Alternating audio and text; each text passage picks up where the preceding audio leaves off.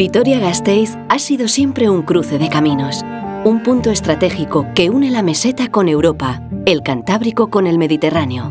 Ciudad de artesanos y menestrales, la Atenas del norte del 19 comenzaba el nuevo siglo como una pequeña ciudad muy conservadora y sin apenas industria, lo que no nos impidió construir el primer avión del Estado y uno de los primeros coches.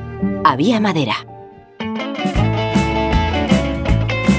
Instituciones, agentes sociales, emprendedores, inversores, reunidos en consejo, marcan juntos el camino de lo que sería la nueva economía industriosa, un ambicioso plan con la mirada puesta en el futuro. El cruce de caminos quería convertirse en punto de referencia, empezando por algo tan importante como el capital humano. Los profesionales salidos de las pioneras escuelas diocesanas y Jesús Obrero, hoy Egvide, empezaban a incorporarse a una nueva fábrica. Imosa, impulsada por industriales vascos en colaboración con la alemana Autounión. La fábrica y la ciudad comienzan a rodar juntas y con el tiempo los hijos de aquellos pioneros que ensamblaron la primera DKV empezarían a entrar como aprendices. La fábrica crecía, el empleo crecía, la ciudad también. Una ciudad que crece y que necesita infraestructuras y un transporte público que, como no, se estrena con una DKV. Y que crece también en lo social. Una compañera de Alemania trae un soplo de aire moderno y europeo al baloncesto femenino. Nuestros equipos compiten en varios deportes, categorías y modalidades. Las F1000 llenas de helados y polos recorren todo el Cantábrico. La estrella ya luce en los vehículos salidos de la fábrica, hasta que coincidiendo con el 800 aniversario de la ciudad, Mebosa pasa a ser Mercedes-Benz España. Y el futuro de la fábrica comienza a tomar forma con la MB100.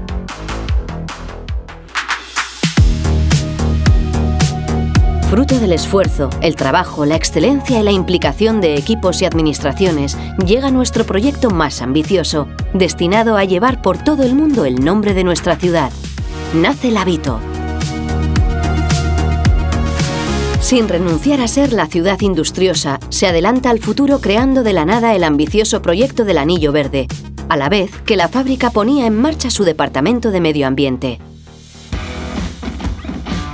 Llegaba el siglo de la sostenibilidad, una sostenibilidad que va más allá del medio ambiente, que piensa en la tecnología como herramienta de calidad laboral, que para ser competitiva necesita crecer en productividad, flexibilidad, eficiencia, pero también en espacio y en personal. Pero llegaba también el siglo de la globalización y el de la deslocalización por eso, instituciones, agentes sociales y económicos son conscientes de que solo con unidad y visión común es posible seguir respondiendo a los nuevos retos. No tardó en ponerse a prueba la solidez de ese compromiso. La fabricación de la segunda generación de Vito y Viano estaba en juego.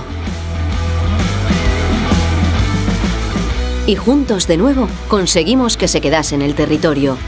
La fábrica daba el gran salto en automatización doblando su tamaño y en el 50 aniversario de la fábrica, la medalla de oro de Álava rubricaba ese pacto. Un pacto y un esfuerzo que han conseguido que haya sido posible triplicar la plantilla multiplicando por 10 la producción. Y la entrega de las primeras furgonetas eléctricas, que coincide con la designación como Green Capital que Mercedes conmemora con la plantación del bosque que lleva su nombre. Se alcanzan cifras de récord en producción y empleo, 4.900 directos multiplicando los indirectos. Hemos conseguido crecer en sostenibilidad y producción, en competitividad, en digitalización y automatización, en un empleo de calidad con un diseño avanzado y ergonómico de los puestos de trabajo. Hoy empujamos el desarrollo económico, industrial y tecnológico, colaborando además con las instituciones en proyectos de aceleradoras de startups. Son el esfuerzo, el compromiso y el trabajo conjunto lo que nos ha traído hasta aquí. Pero los nuevos tiempos son volátiles. Por eso nuestros objetivos son ambiciosos y empiezan por alcanzar la emisión neutral de CO2, por crear el mayor ecosistema posible de kilómetro cero, generando un vivero de empresas colaboradoras y de alta tecnología, con empleo de calidad y orientadas al futuro porque de ello depende el futuro, por supuesto del planeta, pero también de nuestra calidad de vida, nuestros empleos, el tejido económico y social que tanto nos ha costado construir y mantener. Por eso estamos preparados. Un modelo 100% eléctrico verá la luz en los próximos años. Mucho más que una nueva furgoneta, un vehículo sostenible, respetuoso con el medio ambiente, autónomo y enfocado a una movilidad inteligente. Y hemos trabajado para que salga de aquí.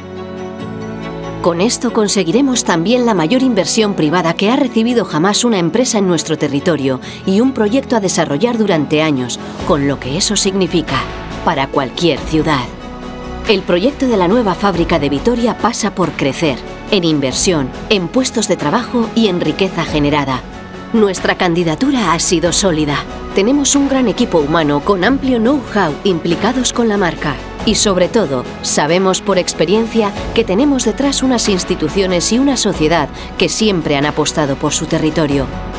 Hay un antiguo lema en euskera que dice, Irurak Bat, las tres una sociedad, instituciones y fábrica.